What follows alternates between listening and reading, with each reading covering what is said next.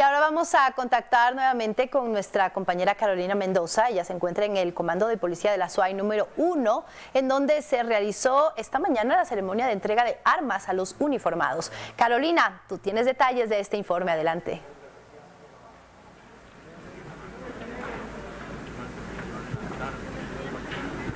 Muy buenas tardes, Andrea, amigos televidentes. Así es, me encuentro en el Comando de Policía Azuay número uno en las calles Eugenio Espejo y Margarita Torres aquí en Cuenca para comentarles que en horas de la mañana se realizó aquí la ceremonia de dotación de entrega de 325 armas a los oficiales de policía. Además, las autoridades informaron que en días anteriores se hizo la entrega de tres vehículos y 104 chalecos antibalas. Esto para continuar con su trabajo para defender a los ciudadanos de bien. Escuchemos lo que dijeron las autoridades.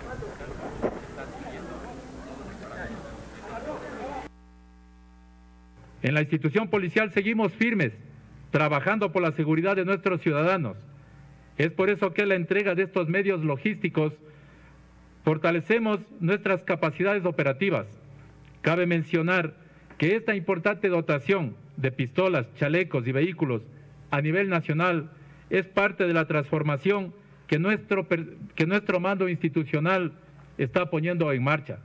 De acuerdo con estas necesidades institucionales policiales en relación a las armas cortas, y luego de verificar que no existen en el mercado nacional, se realizó un proceso internacional que luego de cumplir con todos los aspectos legales correspondientes, se adjudicó a la empresa Glock de origen austríaco la adquisición de 7.362 armas por un monto de 4 millones 55 mil dólares, siendo asignados estos instrumentos de protección a todos los servidores policiales, no solo en las subzonas priorizadas, sino en todas las áreas, en todas las provincias, donde contamos con problemas crónicos de seguridad.